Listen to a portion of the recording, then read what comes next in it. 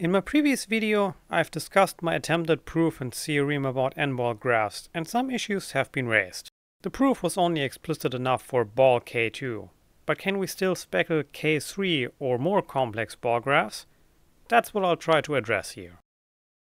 But first, let's get another thing out of the way that's been brought up. What about the n-ball radius? Unless there is a fixed radius per graph we can find, we also can't build a proof with n-ball graphs. If that radius would be arbitrarily small, we'd have a problem. The maximum radius that a given n-ball graph supports depends on the distance that is closest to 1 without actually being 1, which lends itself to a rather nice visualization. Assuming we can prove that proper n-ball graphs behave like their finite counterparts, we can, like this, find a working non-zero radius for every specific graph and those number of colors we're trying to use. While this radius will get very small for increasing colors and dimensions, it will always be a certain non-zero number, bringing with it a non-zero measure of space that can be speckled. For two or three colors in a plane we only need unit distances, leaving us with diameter 1. Assuming we can get speckling out of the way, so let's get back to that. A speckled coloring means the colors are finely dispersed, totally disconnected. Clearly in ball K3 we aren't going to find a finite contradicting subgraph, just like we did for K2. We're looking for an iterative proof converging on zero usable measure again, but more general. So what I'm trying to show here is an equivalence relation between finite graphs and ball graphs.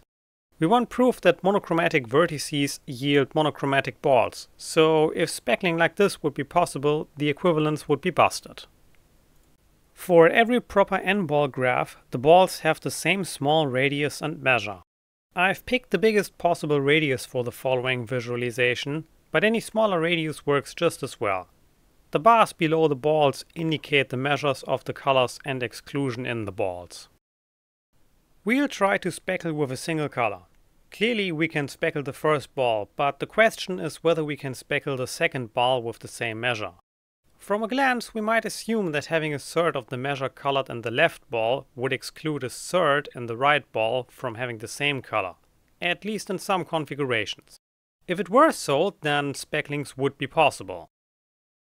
While full measure in any ball clearly excludes the full measure in other balls, in the last video we've already seen that the boundary alone already excludes other balls fully. And here the boundary only has one dimensional measure, so no n-dimensional measure at all, unlike its exclusion. Let's have a detailed look at why that is. For every point in the second ball there are two points in the boundary at distance 1, so with all of those points having the same color, this color can't appear anywhere in the second ball. Also, the boundary is already twice of what we need for full exclusion. In general, any line connecting the furthest and closest points like this will lead to full exclusion. And it's easy to see here there exist uncountably infinitely many such lines. Now, if we speckle such a line, we actually get an accordingly reduced exclusion. With every point in the second ball being at unit distance from one point on the line, if an evenly dispersed third of those points are colored, then a third of the second ball can't have the same color. Having this speckled line, what would it take to add another point outside of that line without adding to the exclusion? The arc excluded by that point would already have to be excluded by the speckled line, but that would require this interval to be solidly colored, contradictory to the speckling we're attempting.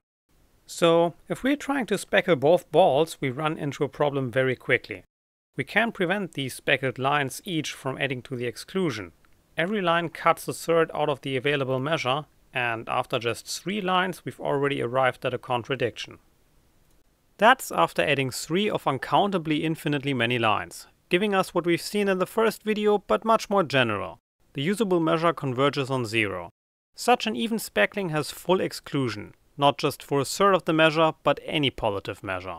Although we could shift the density of the points, that's merely delaying what is bound to happen after infinitely many steps, sooner or later.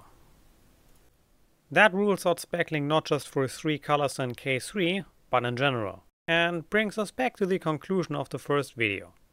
Monochromatic vertices yield monochromatic balls and vice versa. Anything aside from a solid coloring per ball will result in overexclusion. A ball speckled with three colors is equivalent to a single vertex having three colors. If we use that on a single ball or vertex on K3, the best we can do from there is giving a single color to the other balls or vertices, giving us an inefficient 5 coloring instead of 3. Or so I think at this point in time at least. Thanks for watching, that's it for this one.